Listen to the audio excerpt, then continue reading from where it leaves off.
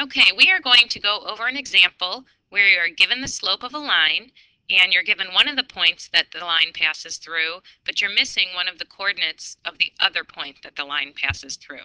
So here, this slope example, find the value of x, so the slope of the line passing through point A, which is ne at negative 1, 3, and B, which is at x4, is equal to 2. So let's first of all refresh our memory of what our formula for slope is.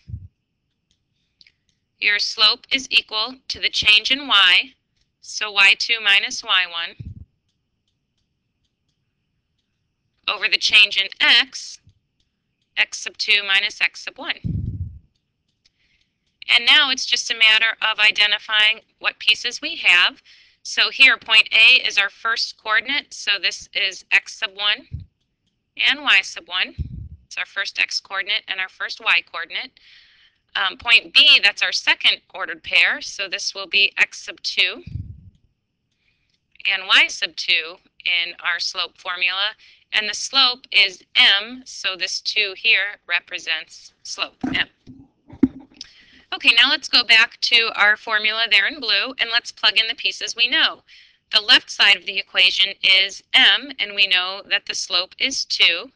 So we will say 2 is equal to, and then we plug in what we know. y2 is 4 minus y1, which is 3.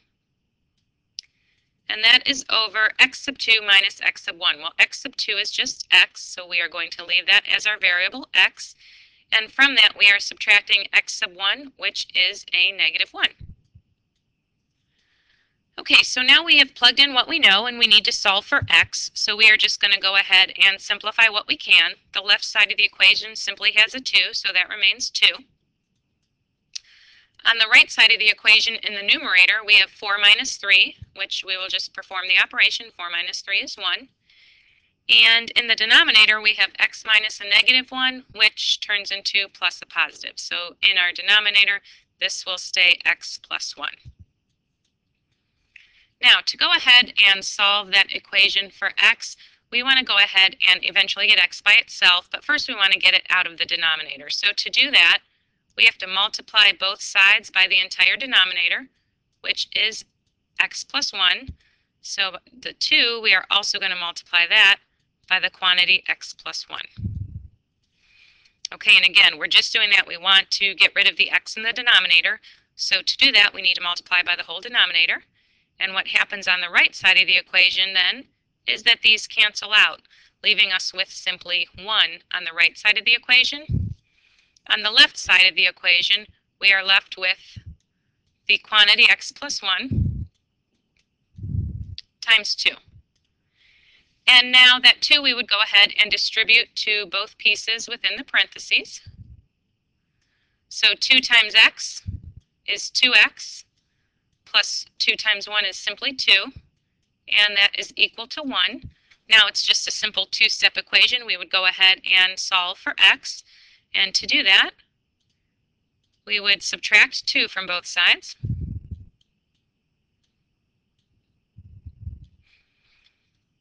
Plus 2 minus 2 cancels, leaving us with simply 2x on the left side.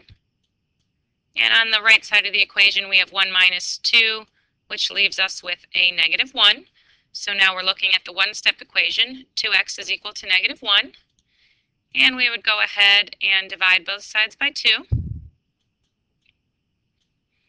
So now we are left, there the 2's cancel, we are left with x on the left side of the equation is equal to negative 1 over 2, which does not simplify, so we will keep that as a negative 1 half.